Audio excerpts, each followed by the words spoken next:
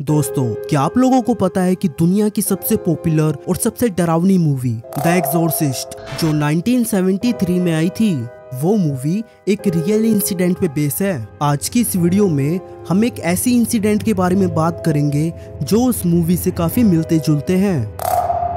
ये बात काफ़ी साल पहले की है। फ्री फायर वर्ल्ड में रहने वाला 18 साल का एडम बरमूडा शहर से काफ़ी दूर अपनी एक आंटी के घर पे रहता था। उसकी aunty paranormal activities and dark study की प्रोफेसर थी। उसकी आंटी उन लोगों की मदद करती थी जिनके चाहने वाले अब इस दुनिया में नहीं हैं।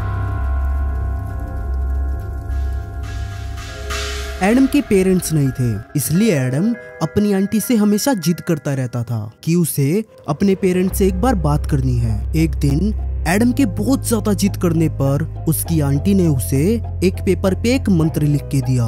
उस पेपर के ऊपर ऐसा मंत्र लिखा हुआ था, जिसका इस्तेमाल करके हम लोग दूसरी दुनिया से बात कर सकते हैं। एडम उस मंत्र को बोलने की प्रैक्टिस हमेशा करता रहता था और अपने पेरेंट्स से बात करने की कोशिश करता रहता था।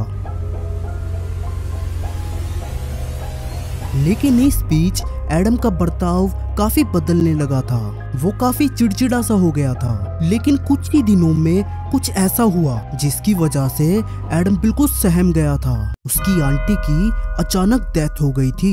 अपनी आंटी की डेथ के बाद एडम हमेशा उस मंत्र को बोलने की प्रैक्टिस करता रहता था, क्योंकि वो अपनी आंटी से बहुत ज़्यादा प्यार किया करता था और वो अपनी आंटी को वापस बुलाना चाहता था। धीरे धीरे एडम पागल सा हो गया था।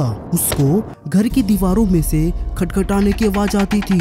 कभी उसे ऐसा लगता था जैसे कि उसकी आंटी उसे पुकार रही है। तो कभी उसे लगता था कि वो उसे लड़ रही है। कभी उसे एक औरत की रोने की आवाज़ आती थी। तो कभी उसे उसी औरत के हंसने की आवाज़ आती थी। एडम के बाकी के परिवार के सदस्य ये सब ऑब्ज़र्व कर रहे थे। उन्होंने देखा कि एडम बहुत ही ज़्यादा गुस्सेल हो गया है। एक बार घर के सदस्यों ने देखा कि एडम बहुत ही अजीब तरीके से बिहेव कर रहा था, जैसे कि किसी जादुई शक्तियों ने उसे घेर लिया हो। सभी एडम की हालत देख के बहुत ही ज़्यादा घबराए हुए थे। लेकिन एक शाम कुछ ऐसा हुआ जिसने इस घबराहट को रोंगटे खड़े कर देने वाली हालत में बदल दिया। उस शाम घर पर एडम के सिवाय कोई भी नहीं था। एडम वो मंत्र पढ़ के अपनी आंटी को बुलाने की कोशिश कर रहा था। कुछ देर तक तो कुछ भी नहीं हुआ, लेकिन फिर पूरे घर की खिड़कियाँ और गेट अजीब तरीके से खुलने लगे। एडम का सर घूमने लगा और फिर एडम ने देखा कि दो काले साए उसके कमरे में चक्कर लगा रहे हैं। साथ ही साथ उसकी कमरे की लाइट्स बहुत जल्दी जल्दी ऑन ऑफ़ हो रही थी। एडम बहुत ज़्यादा डर गया। और वो भागकर अपनी आंटी के रूम में चला गया। पर जैसे ही एडम ने रूम में एंटर किया, वो एक अलग डायमेंशन में चला गया।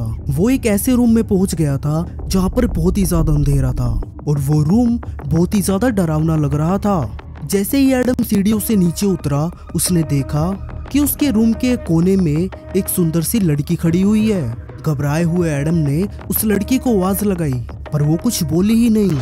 कि तभी वो औरत पलटी और वो अचानक से अपने भयानक रूप में आ गई। सहमा हुआ एडम जैसे ही पीछे भागा तो उसने देखा कि उसके सामने एक बहुत ही भयानक डीमन खड़ा है। उस डीमन के चारों तरफ़ आग जल रही थी और वो देखने में बहुत ही ज़्यादा खतरनाक लग रहा था। एडम वहाँ पर फंस गया और वो वहाँ से हिल भी नहीं पा रहा था, जैसे कि वो किसी के वश में आ गया हो।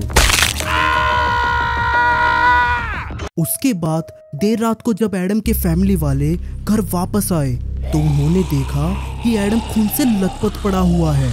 उन्होंने देखा कि उसके रूम में कुत्ता पड़ा हुआ है और एडम उसे नोच नोच के खा रहा है।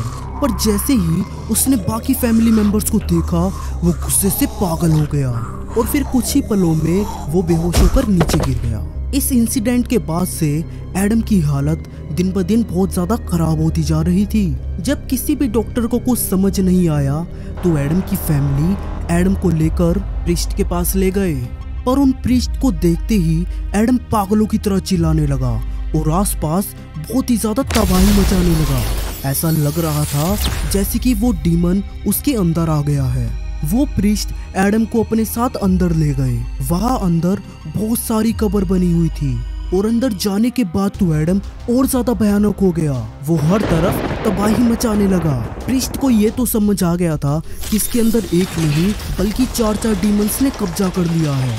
और देखते ही देखते एडम उन प्रिस्ट के ऊपर भी हमला करने लगा। उन प्रिस्ट ने काफ़ी कोशिश की, पर एडम को कुछ भी नहीं हो रहा था। और आखिर में एक प्रिस्ट ने अपनी शक्तियों से एडम के शरीर से उस डीमन को निकाल दिया। उसके बाद एडम बेहोश होकर वहीं गिर गया।